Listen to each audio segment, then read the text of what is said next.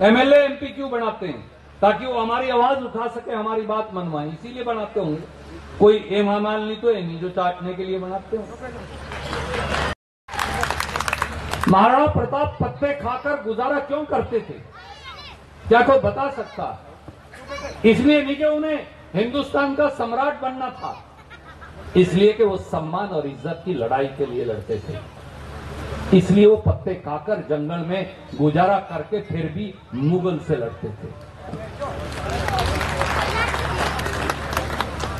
साहब अगर हिंदुस्तान का, हरियाणा का किसान लाखों की संख्या में, मजदूर लाखों की संख्या में ये आड़ती भाई बैठे हैं, ये भी चिंदा चिंदा हमारे साथ गए।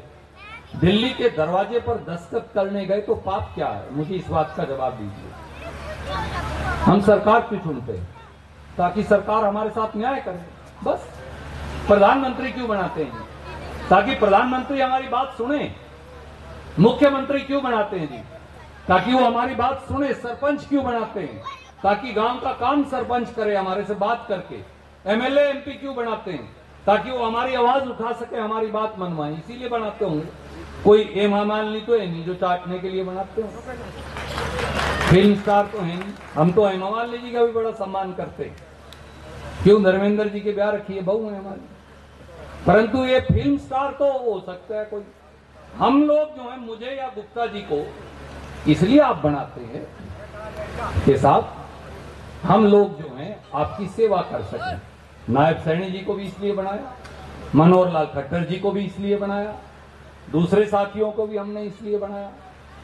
परंतु आज जो होने लग रहा है, वो होने लग रहा है मेरे बुज़ुर्गों, मेरे साथियों, मेरे भाइयों, मेरे दोस्तों, के वोट के राज को खत्म करने की साजिश हो रही है। नहीं तो किसान के रास्ते पर नश्तर क्यों बिछाए जाते हैं, आप बता दीजिए। सरपंचों को चंडीगढ़ बुला के पंचकुला में क्यों कूटा जाता है?